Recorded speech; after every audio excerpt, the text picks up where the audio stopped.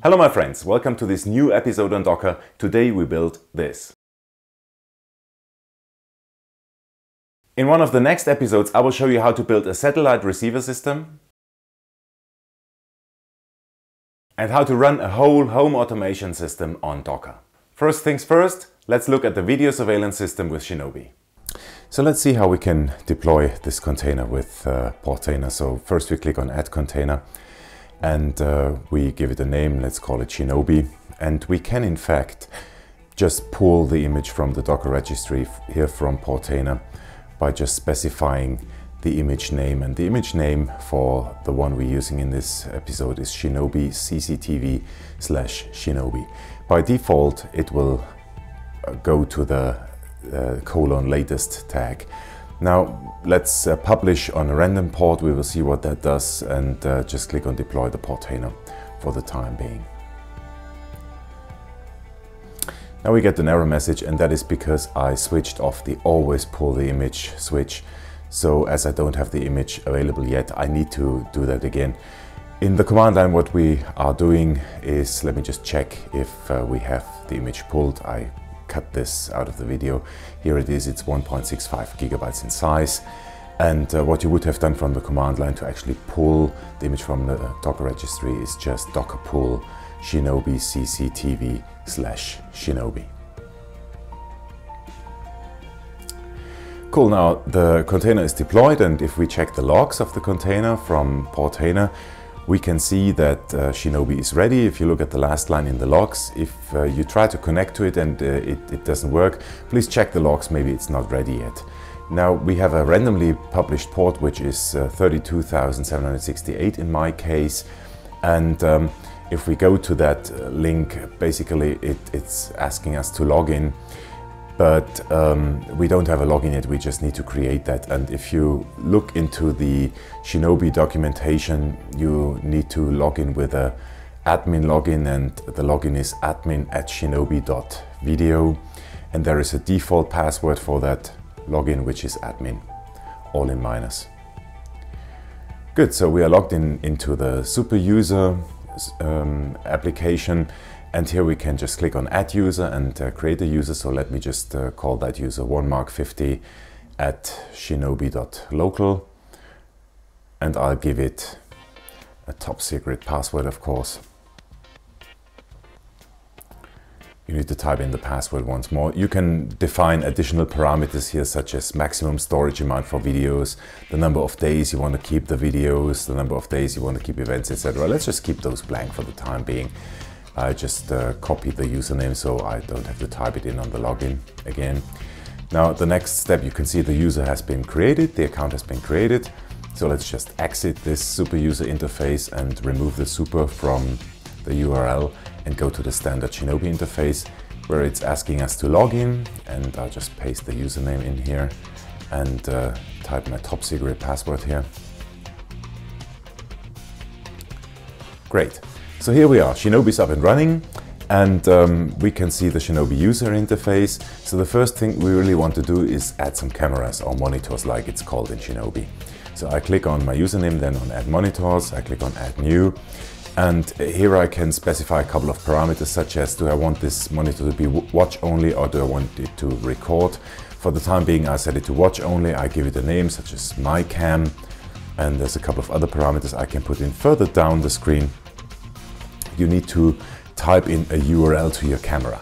And now this is uh, typically the tricky part. So how am I gonna find out which URL my camera has? And the great thing with Shinobi is if you click on the camera URL list, they have a, a website with a lot of camera vendors and um, the URLs you need uh, to use like the predefined passwords and everything. So for my camera, this is an Anke camera, here is the URL. So I just type in RTSP because I know it's using RTSP. Let me just type that in. And then the, the IP address or rather the network name of my camera and then the URL which I copied from the Shinobi website. Just save that. And now this can take a couple of minutes until the, the screen shows up, so I shortened this on the video. It might take up to a minute. Here it is, here is the camera, and uh, we can see we have the first monitor added and so what you can do from here, you can watch it full screen. So you, here you can see the disorder in front of my house. um, I can do a couple of other things, such as uh, take an ad hoc snapshot and just save the file as a picture, for example. You can check the logs or reconnect the stream if it's lost. You can also go into the calendar and see if there are any recordings. So in, before I can watch any recordings, of course, I need to record something. So let me just uh, set that monitor to recording and then we'll skip a minute and we'll see how we can find those recordings. So here we go. We have uh, switched it to recording. It takes a while.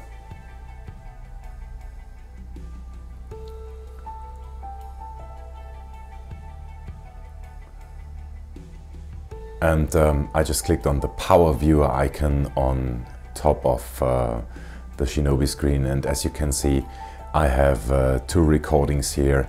That comes in really really handy if you have multiple recordings for multiple cameras. You can just go to the power view and you can view all the cameras one below the other. And there's a couple of options you can do from that screen such as go to the previous video go to the next video etc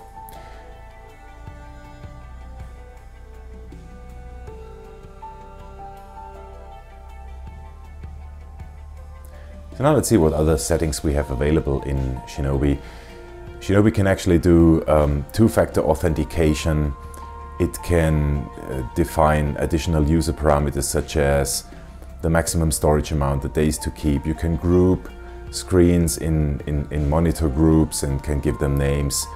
You can define upload locations, for example, S3 or Amazon S3. For example, if you wanted to automatically push your recordings to the cloud, the use case is if uh, burglars come to your house and they, they take the storage away, at least you still have the recording in the cloud so that you can um, uh, transfer to the police. SSH, SFTP is another option here which comes in really, really handy if you have cloud storage for Linux. So you can use that and Shinobi would then automatically transfer the recordings to, um, to the cloud storage.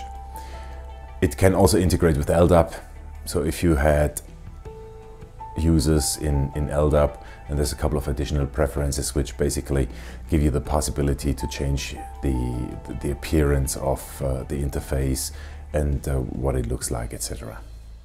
Let's close this for the time being. Another cool thing is that you can set schedules, meaning you can actually set the monitor to record at given times or given days. If, for example, you had um, a camera that doesn't have night view, you obviously there is no point in having it set to, to record on night. Now if you want to check for the videos uh, daily from one camera, you can do so by clicking on the calendar icon and from here you can do a preview or you can watch the video, you can download it, you can also delete old videos if you wanted to. That's just a short preview and let me just click on view and again from here of course you can go to full screen if you wanted to.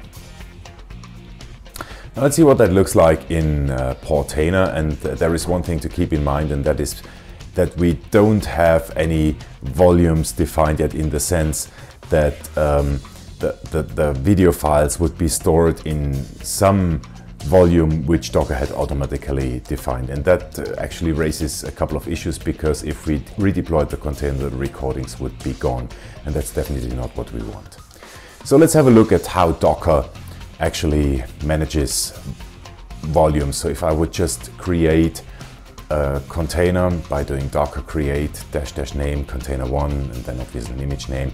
What it would do, it would of course deploy the container and the container would write to a disk storage somewhere, let's call it container dir.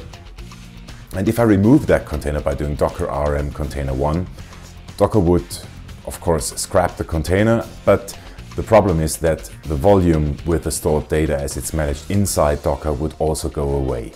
And that is uh, not what we want for the videos because we want to keep them regardless of whether we redeploy the container. So if I just create a, a local directory, call it mydir, and now I create another container and I give it the dash v option, meaning I am actually mapping the mydir subdirectory to the container dir directory in Docker, what Docker would do it would bind the container dir to my local my mydir and when the container writes into that directory, it writes actually into my local directory.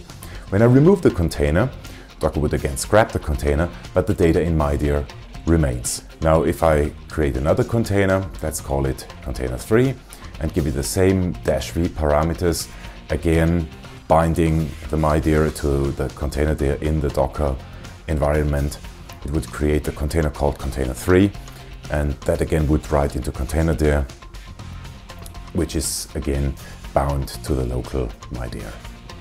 What we have done here is actually we have made the data persistent. That means it can be reused by any new container which you create with the same volume bindings.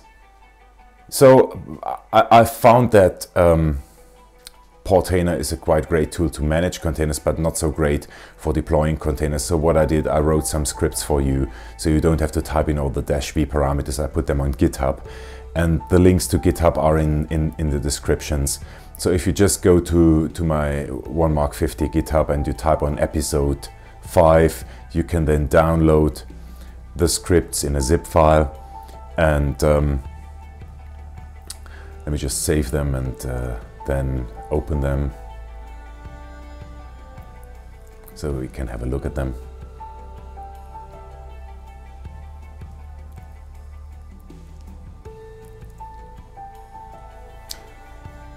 Here we go, here's the unzipped directory. Now I have created a, a, a batch file for Windows and one for Linux. And um, what we can do with these files, let me just actually um, copy them to the desktop and then, and then open them. Now, if you're looking for a great editor for Windows, I would suggest using Notepad++. If you're looking for uh, a great editor on the Windows side, I can uh, strongly recommend Sublime Text. On Mac, that would be TextMate, which I've been using a lot. Let me just open those in Notepad++ and let's just quickly walk through the script. So the first thing we do, we actually in, in line 18, 19 and 20, we set a couple of parameters and you can adapt these parameters to your needs. So we give it a container name, we give it the image name and the local port we want it to run on. We also set the subdirectories. Now be aware that there is a um, unexpected functionality with MariaDB, that is the database Shinobi uses under Windows. So we can't really give it a subdirectory. What we can do is we can give it a named volume and so here you can see the dash V bindings. The caret at the end of the line actually means that, I'm, that there is more to come in the next line. Under Linux, that would be a backslash. So all the parameters are passed on to, to the script. So as I just said, we can't map the MySQL location or the MariaDB location under Windows. There is a well-documented bug actually. I'll put the, the link in the description. Under Linux is pretty much the same. Now here we can freely define where the database should reside. I will uh, create the directories if they don't exist and the script does a bit more. It actually checks if the container is already there. If it is not there, it will create it. And um, we do need to give a couple more volumes here, such as the local time and the time zone, because if you don't do that, it may be that your Docker container defaults to the UTC time zone and you definitely don't want that to happen. You want your videos to be timestamped with the correct uh, local time. So again, if you want to deploy the container using the script, just uh, use the script I provide on GitHub. Let me just do that. Let me scrap the container and then let me redeploy it using the script. So you just open the command line and you start the CMD file. I put it on the USB stick on E. So just call start shinobi.cmd and then it does everything for you. It creates the subdirectories, it creates the container and um, so here we go, let's check the logs of the container in the Docker desktop dashboard. And if we go into inspect and just see where, what the mounts are, you can see here that the directories inside the Docker container have been successfully mapped to, or rather bound to my local subdirectories. Let's just have, let's just have a look at Portainer and um, actually go into the, the Shinobi container and inspect it from there. Oh, oh, sorry, let's go into the volumes actually and um, see where that database volume is. Here it is. So you can see in the volume list there is a named volume under Windows. Again, you don't need to do that under Linux. And I called it uh, database and we can see that it is mounted by the Shinobi container.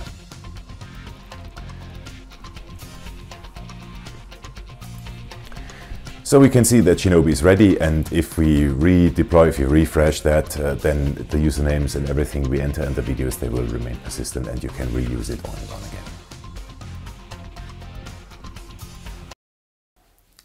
That concludes today's episode on Docker with building a video surveillance system with Shinobi. Thank you very much for watching. I hope you liked it. By the way, before I forget it, I realized I had 10 subscribers, so that's great. Now let's hit the 100, right? Thank you very much, my friends, for subscribing. That really means a lot to me. Thank you very much. Hope you liked it. Please do not forget to subscribe. Thank you. Bye for now.